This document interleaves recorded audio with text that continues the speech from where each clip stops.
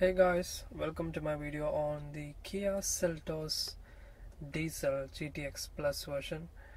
So this is our new family car and I thought I would do a Bose system music playback uh, you know to check the audio quality of the system.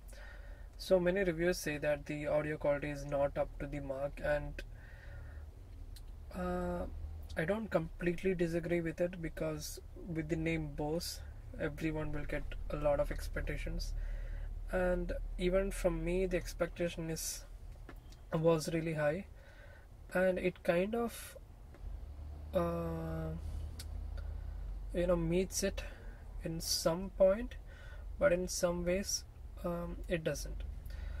So in this video, I'll be giving you the um, audio playback quality of the system.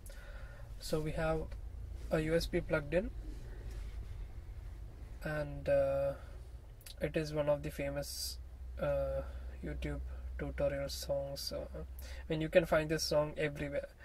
So I chose this song because as every everyone might have heard this you might get a good idea about the sound quality of the system like you can compare better.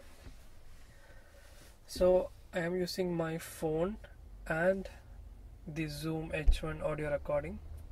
And here it is already recording right now. As you can see. And my MEE Audio M6 Pro second generation headphones is uh, plugged in so that I can monitor the audio output and uh, yes. So let us start the music and I will leave the judging to you